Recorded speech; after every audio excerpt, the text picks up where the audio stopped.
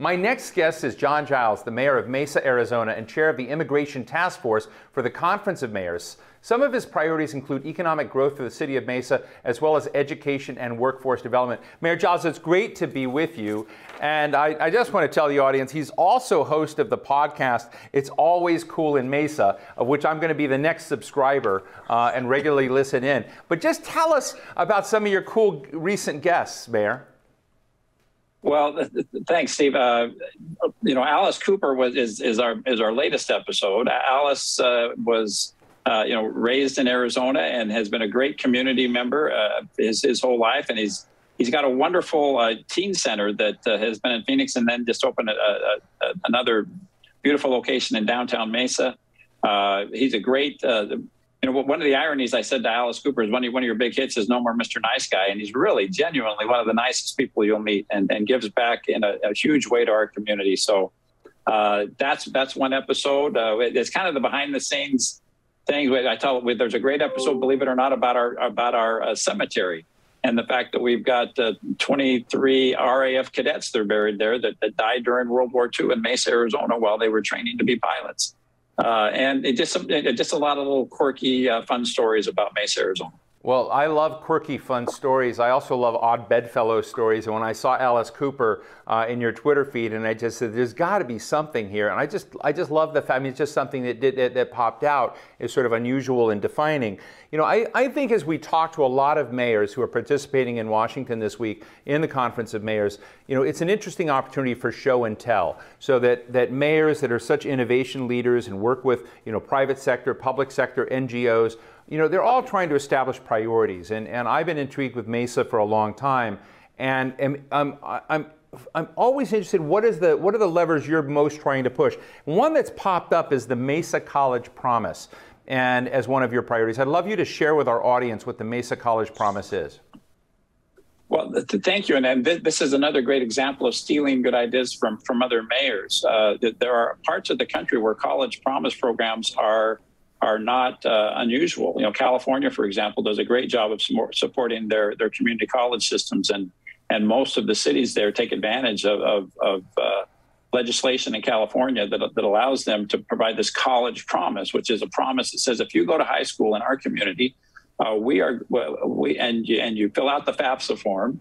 Uh, we're going to make sure that, that you get at least two years of community college in our in our city. So uh, Mesa is the first city in, in Arizona to do this, but I think you're going to see a lot more communities uh, in Arizona and, and countrywide steal this great idea that's been uh, proven in, in other cities. You know, that the, the, increment to get out of the registrar's office at a community college after you take advantage of uh, Pell Grants and other things is not huge. So this is an affordable thing that cities can do to, to promote uh, workforce and, and, and higher education attainment in our cities.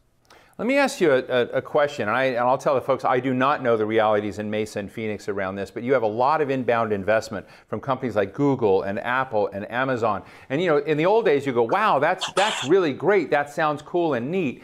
But I remember, you know, two decades ago, that that was often a sign that the state and the localities had basically forfeited their tax code as a way to invite these companies in. And I just don't know what the situation is today. So as these companies yeah. are coming to invest and as you're kind of looking at development, is the equilibrium in the right place between how these companies come in and become contributors to the civic space and issues you know around you and the tax base?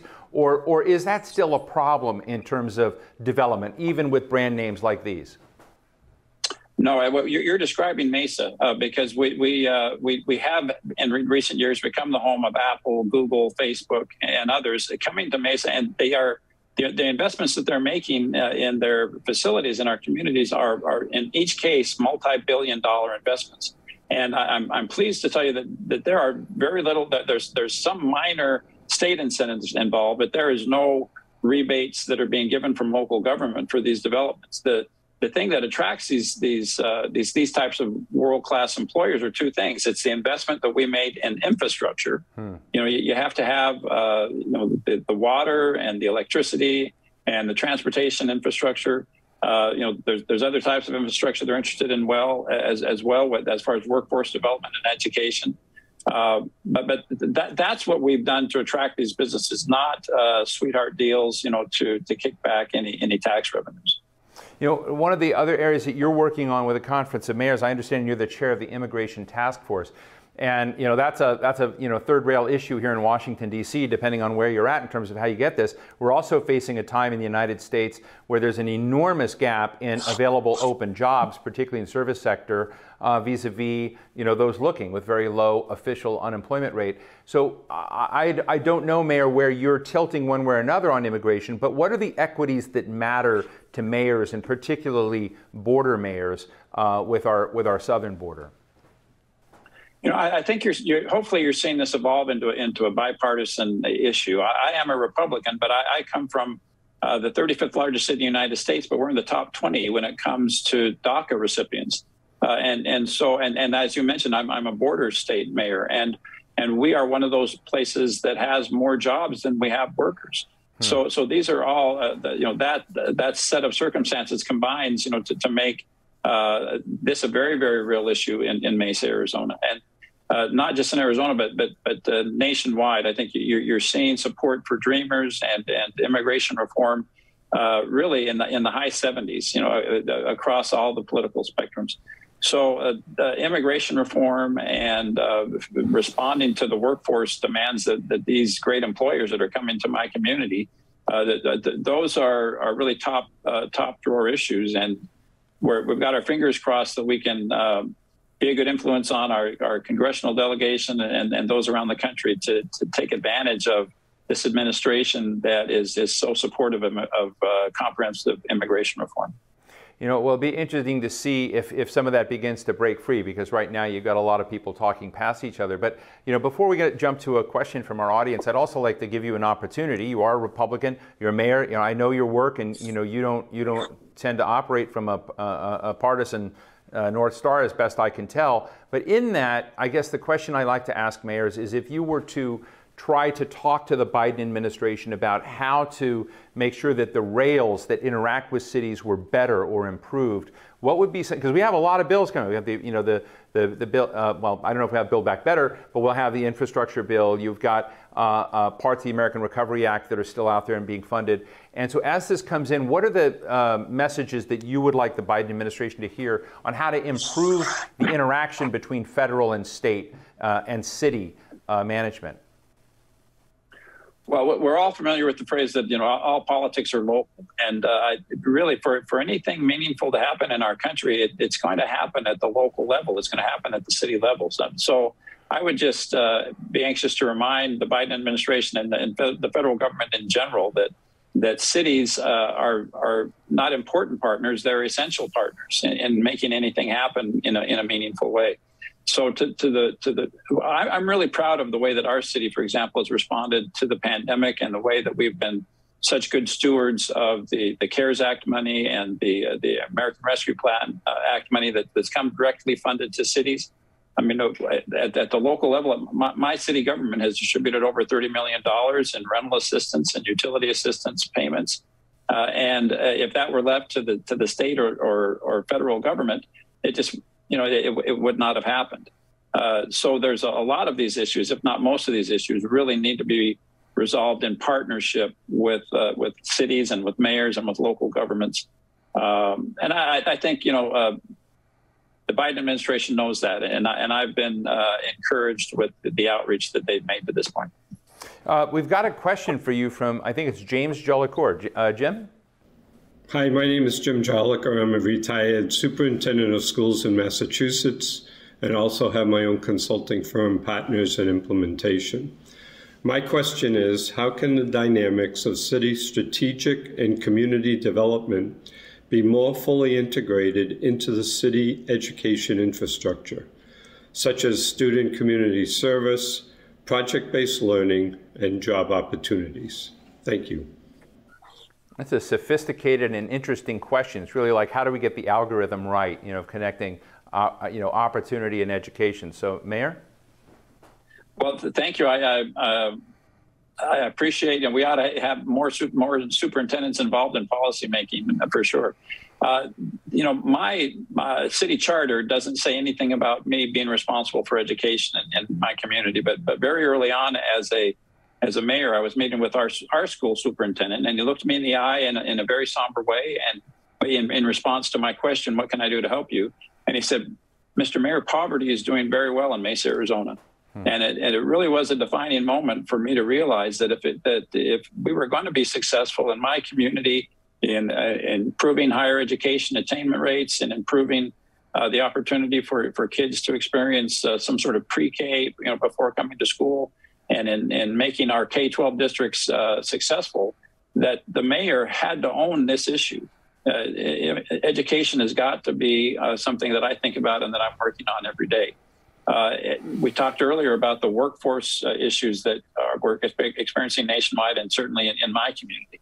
When I met with these with these major employers, uh, the the only thing they want to talk about is workforce and, and what is our city doing to support the education system and and, and getting folks uh, to their doorstep that can take these great jobs that they're bringing to my community. So uh, again, I, I think edu- I, appreciate the question on education. It, has got to be uh, at the top of all of our agendas. It, it is ubiquitous in all of the, the, the challenges that we're facing. Mayor, just before we close, I want to ask you a question because you you have just much more of a tactile feeling for you know the parts of these conversations that uh, we're not seeing. And there, there, you could follow and trap in these conversations of seeing everything as rah rah going well, investments coming in. But you just talked about poverty, which I was very you know kind of hit me. I'm interested in, in what you think we're getting right or wrong. Maybe education is a piece of that, but are we, do we have blind spots when we look at the divides, uh, the social, the racial divides, the communities that have been left behind, you know, by progress, so to speak? And do you have insights into, into how we should be doing this? I, I think that's got to be part of the conversation, and I'm trying to figure out how to do it responsibly. And I don't think it's just Mesa, it's all over the United States. But what are your thoughts about you know, that uncomfortable conversation that there are parts of the people that are not yet fitting in the equation that need to need to be part of that equation? Well, I, I, quickly realized that, that I, I, have two jobs as, as the city of Mesa, uh, as the mayor rather. But one is to, to brag about my community, and, and I could, uh, if you wanted me to, I could I could paint a, a very rosy picture of, of Mesa, Arizona, and, and uh, tell you how affluent we are because we are. But Mesa, like I think most other cities in, in this city in this country, uh, is a is a tale of two cities. Uh, there is a, a large, a, a, we're, we're a great combination in, in my community of people who uh, have the means and have a sense of calling to, to serve their fellow man, uh, coupled with people who need a lot of help. Uh, and there, there's absolutely is a critical role for for local government to play in not only providing direct services, which, which uh, again I'm very proud of what we do. We, we we are very involved in food insecurity and housing, and you know helping to meet the, the basic needs of, of uh, folks who, who need help in my community. But also, uh, the, the, most powerful tool that a mayor has is is convening uh, and and being you know the the the, the uh, the matchmaker between again the, the, the needs and the uh, the assets that, that, my community has. Hmm. So uh, the, the, good mayors know that, and, and the good mayors I think spend more time using their soft powers and convening and and preaching and uh, inspiring people uh, because that's you know that that's what has to happen. Well, John Giles, Mayor of Mesa, Arizona, really, really appreciate you joining us. I also want to tell our audience that Mayor Giles is chair of the Immigration Task Force for the U.S. Conference of Mayors Board of Trustees, and he's a member of the Mayor's Challenge to End Veterans Homelessness. That, may, that Mayor's Conference is meeting this week here in Washington, D.C. Mayor Giles, it's always a pleasure to talk to you. Thank you so much. Likewise, thank you.